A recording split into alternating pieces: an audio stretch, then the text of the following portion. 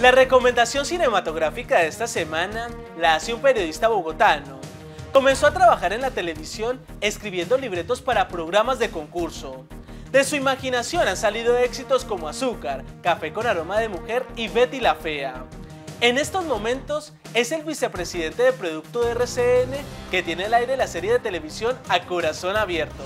En el tema de las películas, si hay tres que yo siempre considero básicas para mis estudiantes, para mis alumnos, y es donde yo empiezo a entenderme con la gente a través de tres películas. Uno, Casablanca, dos, Lo que el viento se llevó, y tres, Los Padrinos, básicamente el uno. Para mí, ahí empiezo yo a hablar de cine y empiezo a hablar de dramaturgia, de personajes, de lo que quieran.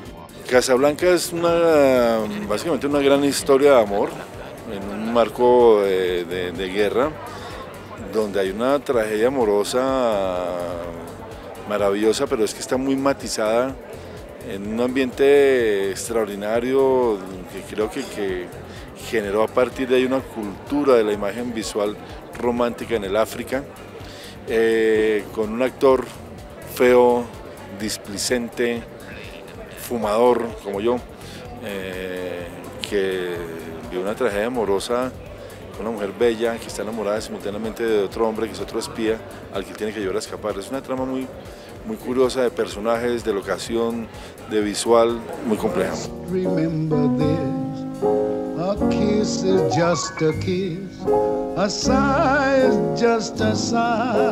Con lo que el viento se llevó, tiene un complemento maravilloso para mí, digo yo en esto pues hablo personalísimamente y es una gran historia de amor en un contexto maravilloso que es la de la guerra de secesión.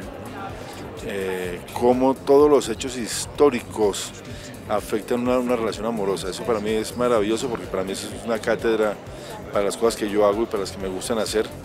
Y pues dos grandes actores, una protagonista eh, maravillosa, estúpida, agresiva, bella, un Clark Gable que es un gran papel, no le conocía los mejores papeles que, que es, un contexto de guerra maravilloso, una gran producción, una gran historia. Los padrinos sencillamente son, eh, hablaría yo para empezar de la primera, la forma como nosotros podríamos entender cómo hacemos, tenemos que hacer cine en Latinoamérica para entender el proceso del narcotráfico en Colombia. Ahí está toda la base latina, pues son latinos, eh, para entender la conformación de las familias en torno al narcotráfico y en torno a muchas cosas. En Los Padrinos está el origen de lo latino.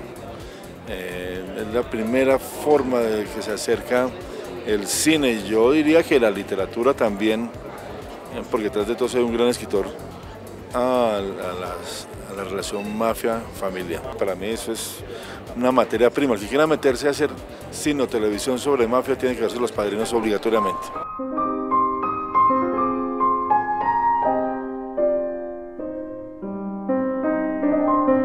Bueno, felicitaciones a la gente de Cine Magazine por sus seis años. Ojalá sean muchísimos, muchísimos más. Gracias, un abrazo a todos. Cine Magazine.